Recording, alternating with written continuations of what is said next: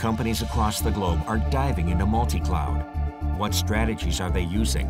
What architecture do they favor? How many clouds are they using on average? Find out by downloading the Flexera 2020 State of the Cloud Report.